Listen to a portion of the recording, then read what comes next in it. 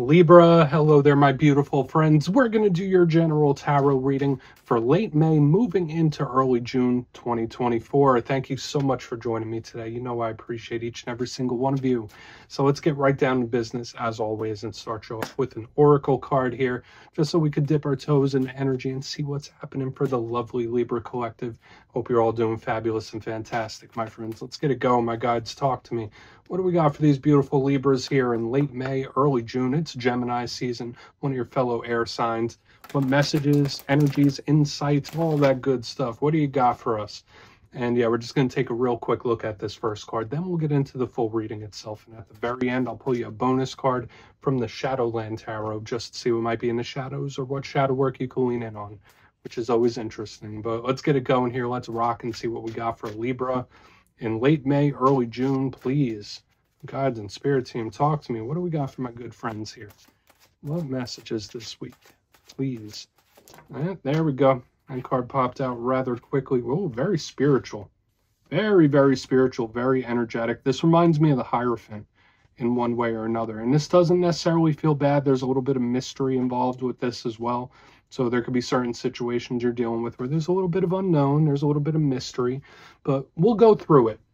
Before we fully dive in, though, if you're new here, I'll be speaking about the May subscriber surprise towards the end, so you might want to check that out. Also, if you could kindly illuminate that like button by tapping it right on its third eye. You know, I'd greatly appreciate it. But enough of the promo into the reading. Let's talk a little bit more about this card because I always find it intriguing because it doesn't always show up often. Now, we see this individual, they are blindfolded, and in front of them are all these different emblems of spirituality, all the different symbolisms.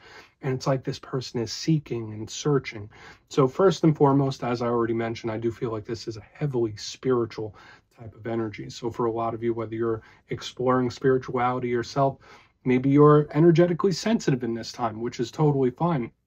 Um, to me, there is something about the unseen world that is tapped in here. Because notice that person is blindfolded, they're hoodwinked. So, for a portion of you, yeah, maybe there is some mystery surrounding situations for you. Maybe there's something you don't quite see coming up as well when this card is here all of this has to deal with the unseen world. So some of you might just be more energetically sensitive than normal. Okay, so keep that in mind. You might be feeling the energy of those around you a little heightened, but we're just going to leave them right there and get into tarot now. I always say this first card doesn't make or break the reading. It's just a little footnote. Let's get you three cards in the upright, then we'll get into that intuitive juiciness. Shuffle it up one time for the lovely Libras here. See what we have in late May, early June, please. And while we get this deck shuffled up and ready to go, let's talk about last week's reading. It was titled Surprising Return. So, a big thing I was picking up in last week's reading was sure, it could have been a person. For some of you, it could have been a situation or just something that you were very familiar with dealing with coming back around, cycling back. And I saw something similar in the Gemini reading, so it might be an air sign thing. I know it happened quite a bit like in early April and late March, but it did show up for you again. So don't be surprised in the coming days and weeks if there's various different things that are swinging back around. Okay, which could be a good thing. It could be a rough thing. It all really depends on your story. But let's see what we have for you this week. As you know, energy is very fluid. It's never set in stone. So only take this how it hits for you because we could be seeing your vibe or someone that you're linked to. Let's get it going. Three cards here for Libra. What do we got? What do we got for my good friends? What do we got for the Libras, please? Okay, thank you. Okay, stop go. A little bit of a stop go or go stop type of energy. It's a hot and cold type of vibe I'm picking up here already, which doesn't necessarily have to be a rough thing, but we are starting with a bang when it comes to this Knight of Wands. Then we have this Knight of Pentacles in the set in the center, which is kind of calming things down a little bit. So we're going to absolutely want to look at this a little bit further. Let's get one more out here, and we'll start piecing this together. What do we got for Libra? One more for my good friends. Thank you. Okay, Page of Cups, all people. So there's a lot of people here, my friends. Okay. And I saw something similar, I think, in the Leo reading, but yours has more if that makes sense. So let's go through. I'll give you some of the classical meanings and archetypes, and we'll get into that juicy, intuitive stuff. So at first look, first glance, I like that we have a nice mixture of elements because this could represent different situations, different aspects of the same thing. But we got fire, we have earth, we have water. I mean, it doesn't feel super volatile at the moment. Um, there's a soothing type of energy connected as well, but also this could be different people in the way they act. So let's go through and really start to build this out because it feels simple, but at the same time, I feel like there's nuance involved as well. Because all of these cards could be talkers, they could be communicators, lots of action and movement, um, and a possible problem or situation in the center. Let's cross that bridge when we get there, though. Position number one, we have the Knight of Wands. Very fast moving card, one of the top three or four in the whole entire deck. So when I see the Knight of Wands, you might be connected to a fire sign. To me, all knights, including this guy right here in the center, they're all about action, moving something forward, forward progress. So if this Knight of Wands isn't a fire sign that you're connected to, I think of explosive action, something moving forward really quick. The good thing about this type of wand energy is that it could be very much movement based, motivated, filled with passion and burn, but at the same time, it could be very unpredictable. It could be something that could get explosive or a little out of hand sometimes. If we're talking about a person, the Knight of Wands could be someone that's a bit of a partier, someone that gets a lot of attention. We're not fully going to go that route on it though. And generally, it to me, the way I'm I'm reading how the energy is flowing, and it's like start with a bang and then boom, a slowdown a very, very quick slowdown. So there's like this hot, cold, start, stop, go, go, no, no. It's like giving me that weird type of energy. And it's moving in all sorts of different ways, but keep in the back of your mind that this could be a messenger as well. Moving to the center, we have the Knight of Pentacles, the complete opposite to what we have going on here with the Knight of Wands. So we have some earth energy, and the Knight of Pentacles, it could be a Capricorn, Virgo, Taurus. If that is not the case, this is the slowest moving knight in the whole entire deck very detailed, very meticulous. Slow and steady wins the race with this one. Whereas like this knight's like go, go, go, go, go. This one's like slow, slow, slow, slow, slow.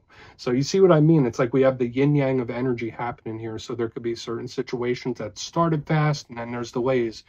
Um, there could be a situation or a delay happening in the center. I don't always go negative with the Knight of Pentacles though again, it could be a messenger, but at the same time, it could be slowed down for a reason.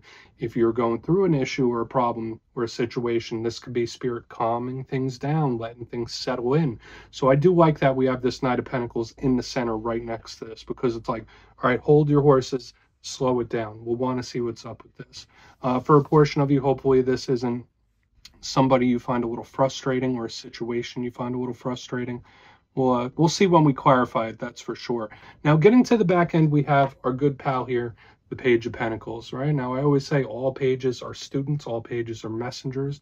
So whether this is new opportunities coming up for you, a new venture, new individual, you name it, could just be a water sign. I don't like to lean too much on the zodiacs when we have most of the damn zodiac out here anyway. But this Page of Cups out of all the pages is very emotionally expressive, more so than the others. Even though they're all messengers, they're all talkers, they're all communicators, this one expressed their emotions much more freely. Okay, so whether we're looking at a message or a conversation coming your way, that's a big possibility with this page. Now, another thing I will say with the Page of Cups, in its roughest sense, sometimes it could be someone that's a little a little bashful or somebody that's trying to repress a feeling of some sort. So I feel like we have a lot to explore, even though we have a lot of possibilities and lots of people. So you might be more popular than you normally are this coming week, Libra. Like we're all these people. There's a lot of people involved. I want to dive deeper on all of it though. Let's jump in and clarify. Okay, let's get a good shuffle here. See what we got for the lovely Libras. And yes, this is where I go intuitive with the message, which means I just tell you how it feels to me. So feel free to do further research or rely on your base knowledge of tarot. Because as you know, every single reading is about the reader's interpretation, and I'm just giving you mine. Let's go in on that Knight of Wands. See what's happening. What's this action about? And yes, if you're a reader yourself, please feel free to play along. That's why the box is here. If you're feeling any messages you want to give to Libra, you could drop it in the comments. I don't mind at all. All right. Let's see what this fast start is about. Why is the Knight of Wands here? Why is that Knight of Wands? Thank you. More people, all people so far. Wow. Okay. So if I was a beginner in tarot, I would find this very confusing, but actually I'm not confused whatsoever because the energy is just radiating off of each individual we have here. Now, I do want to mention that now we do have the whole entire zodiac showing up here. Now, this could be representing you with that Page of Swords. Pages similar to that one. There's a lot of talking here. There's a lot of chit chat. There's a lot of chatter happening in this week's reading. Okay, so whether that's something you're wanting or whether that's something that's coming towards you, get ready for it. The Page of Swords, if we're not representing you, there could be something that you are yearning for here. With this Knight of Wands and this Page of Swords, it's like, I got my eyes on it. I got my eyes on it. I just need to make a move. That's like the vibe I'm getting here. There could be something within your sights where it's like, I'm waiting for the right time and then I'm going to pounce on this. That's if that's not you, it's somebody else. But a big thing with the Page of Swords is it is the Watcher I would say watch out for communication in this time as well, because this could be like a very fiery form of communication here in the center with the fire air mixture. But to me, it feels like someone has their sights set. Okay, aside from like all these different people that could be coming towards you, keep that in mind. Like you might just be a people magnet in the coming days and weeks, like more so than usual. I feel like there is somebody that has their sights set on something and they want to make a move.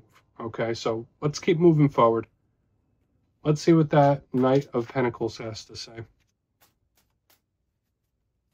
And just so many different people here.